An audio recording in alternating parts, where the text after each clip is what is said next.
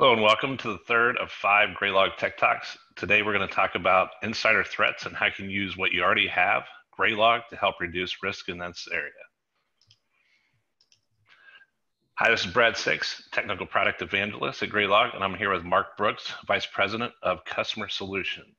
As a reminder, you can enter questions in the Q&A window at any time.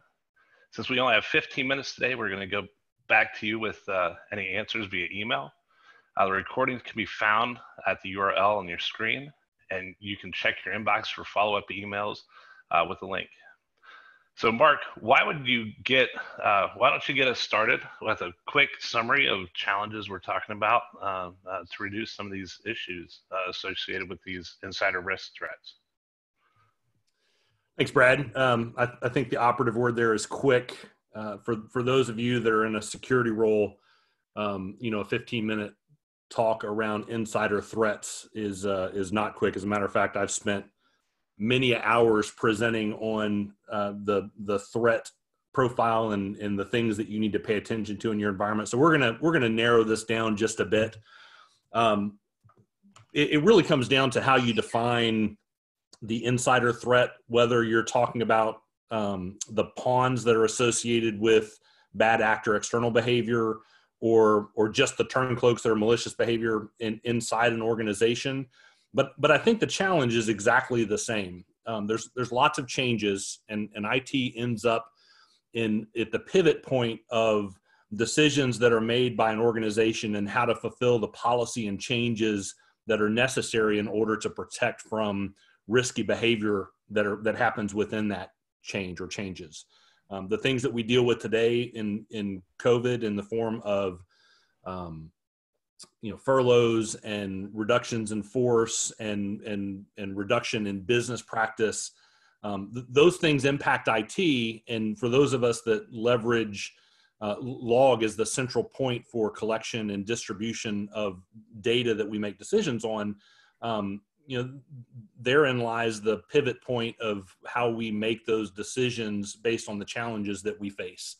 The the things that we're going to talk about today some of the things that we've covered in the past um, looking at accounts and, and how you manage and, and monitor account behavior um, and, and then really getting into how do we pivot back to the the specifics of the, the custom attributes within an organization so that you can be focused on data that's relevant to the risk that you're facing. And that includes shared accounts and, and fraudulent type activities. All, all of this rolls back to, though, the fact that you know bad actors hackers are paying attention to so, social media and they're watching for uh, changes in employment status on linkedin and they're looking they're looking for accounts that have elevated privileges within organizations to try to leverage that access and that privilege in order to gain a foothold and and ultimately either hold that organization at ransom in the form of ransomware um, or exfil data in order to sell on the black market. So the, the threat is real. Um, the, the challenge is very, very vast and 15 minutes is definitely not enough time to, uh, to, to cover all of, all of this, but we're going to focus on a few features and functions that I, I think will help make your make your life as a Graylog administrator a, a little bit easier. Okay, so if we're focused on monitoring uh, the deliberate actions of by insiders, uh, where should Graylog users get started? Mm.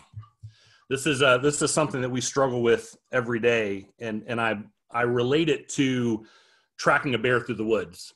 Uh, if if you I've, I've, used sports analogies in the past, and I've told that you know not everybody relates to sports analogies, so I'm going to use a hunting analogy this time.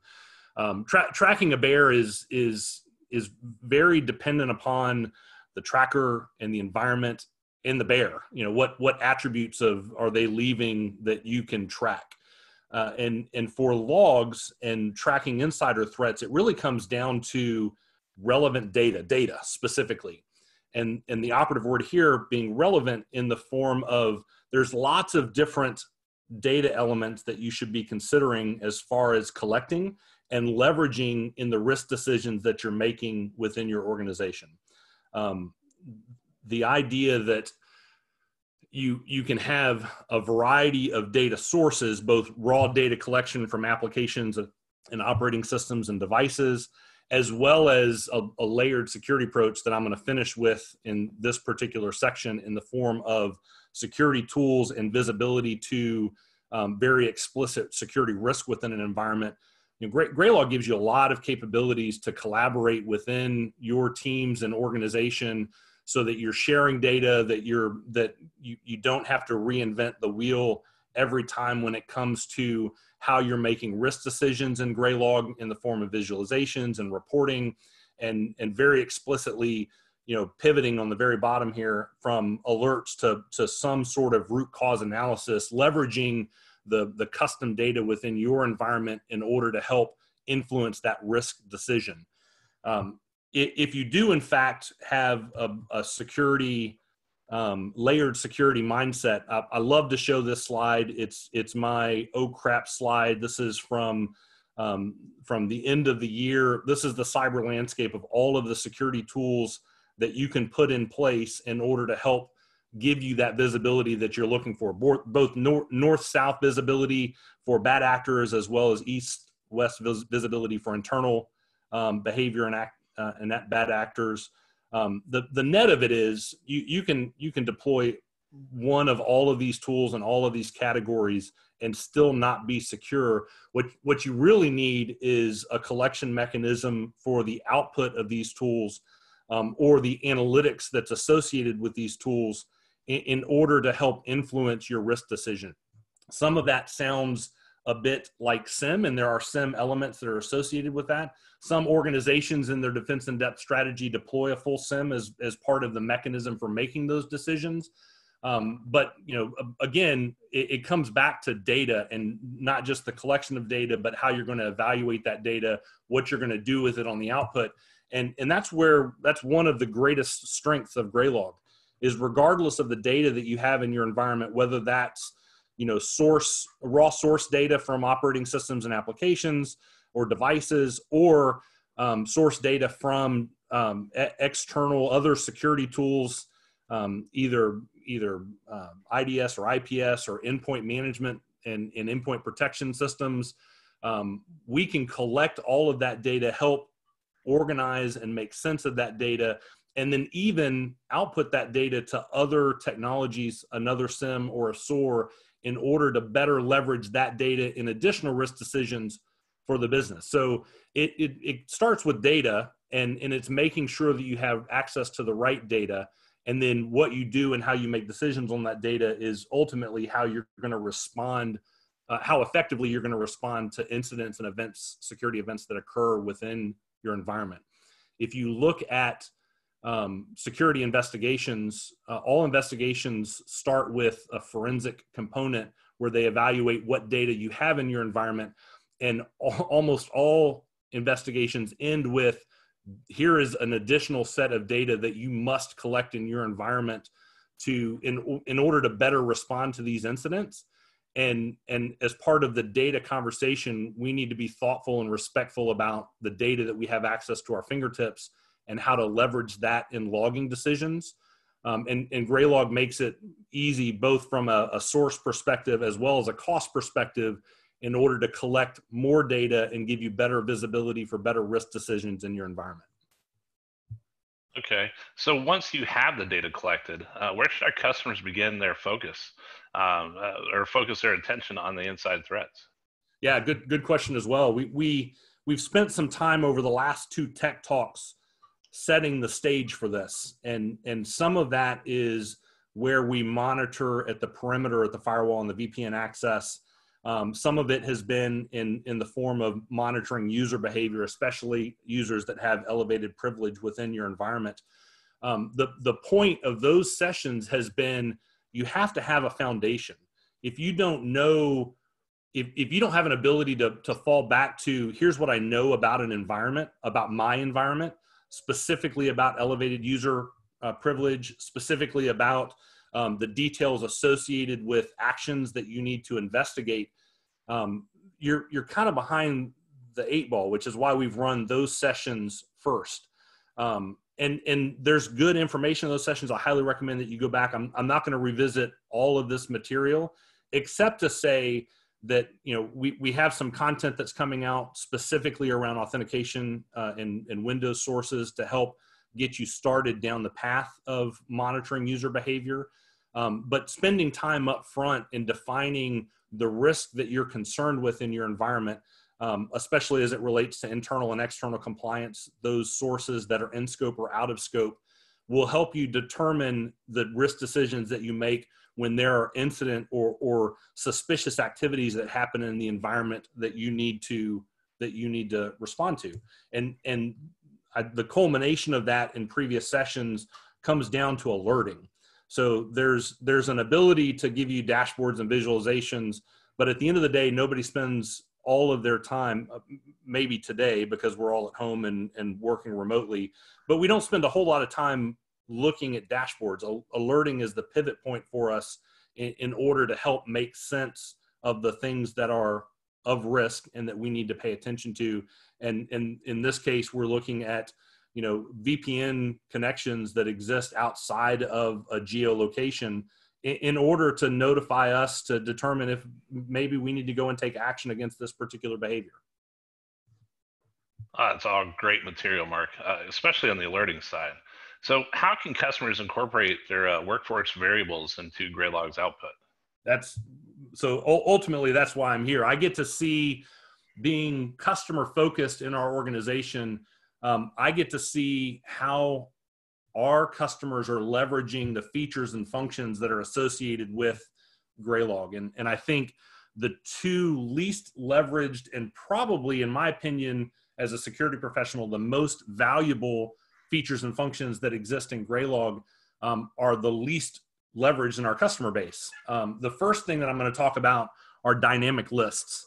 So if, if you're familiar with lookup tables where, where as part of a pipeline process, we can break out of that process in order to go look up either enhancement data or decision data in a table um, in, in order to help facilitate the, the decisions that we make in the pipeline process. We do a very similar thing today outside of a security feed in the form of custom dynamic lists that uh, that customers can define in order to help alleviate some of the alert fatigue that's associated with uh, security tool output. Um, in, in this case, I've, I've defined a parameter where I have a list of former employees and I'm looking for uh, access behaviors, authentication behaviors that are associated with anybody that's on that particular list. So uh, I'm in, in this case, it's SSH. Somebody attempts to SSH. That that event alone doesn't trigger an alert, but if that event comes from a user that's on this former employees dynamic list that I'm going to be updating pretty regularly out of either Active Directory or my HR system, wherever that data is sourced for your organization. Now I've got a very explicit risk that's associated with, I, I know that somebody that's on that former employees list should not be SSHing into my environment. They might be a turncloak of somebody that's being malicious in my environment.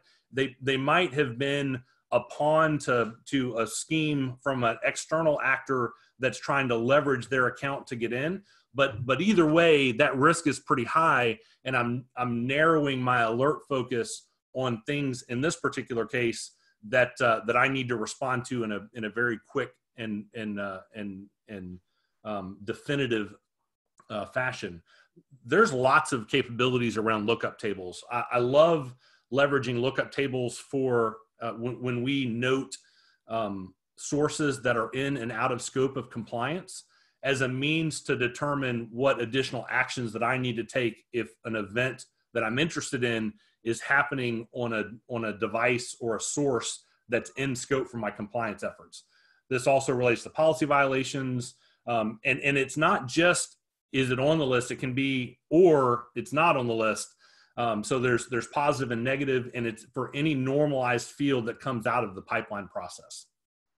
The other feature that I see that's not leveraged very often in our customer base are, is our correlation engine. This is this has been briefly talked about in the past two sessions in the form of taking event data either from from a single event and and leveraging multiple fields with that event to correlate data or across multiple events in order to correlate uh, an, an, alert outside of uh, multiple sources, bringing that out and, and looking for things that are of interest within your environment.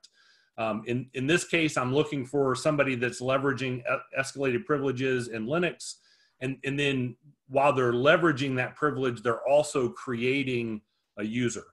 Um, tends to tends to lead to bad behavior. Another one that I, I, I like to see is somebody that's either logging in as a service account and clearing, trying to clear an event log if that's part of your policy to be allowed by a service account. Um, but correlating those things together for a high fidelity alert output that requires response. And, and ultimately, um, you know, the correlation rule is very simple to use in the form of we use the same search criteria that we leverage across dashboards and and uh, and how we filter and cull data at the search window um, in in order to build that successful output. Uh, we've got some correlation rules that are coming out with the content that's going to be released at the end of the month, and and hopefully those can be leveraged to help you better define correlation events in your environment. But we also have uh, some some recorded content uh, on our website that walks you through the process of building those correlation rules and and how to define that that high fidelity output that you're looking for from a logging environment, especially as it's related to in, internal or insider activities that you're most concerned with for, for your organization. Thank you, Mark. Uh, some great information. Um, insider threats are a major concern for every organization. Um, I hope the information that Mark presented today has been useful and has provided some guidance on uh, how Graylog can help reduce insider threats in your environment. If you have questions, please send them to uh, techtalks at graylog.com. And you can follow us on Twitter, LinkedIn, and Reddit. Uh, remember, there are two additional uh, Tech Talks uh, next week and the following week. Uh, we are going to cover collaborating uh, to improve availability, root cause analysis on the 14th of May, threat hunting techniques for today's biggest threats on the 21st of May. So look for an invitation and we hope to see you at the uh, next Tech Talk. Thank you very much.